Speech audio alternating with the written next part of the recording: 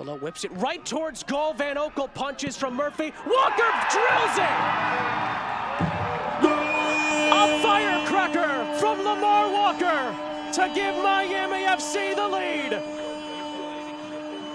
Watch right outside the top of the box. He's just laying and waiting. Excellent job by Kyle Murphy. He doesn't get ahead on it, but it's the pressure right in front of the goalkeeper obstructing his path to punch this thing out. And then the form.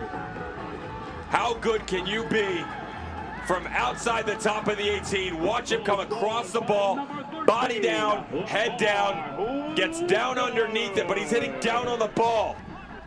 No doubt about it that this thing was headed for glory.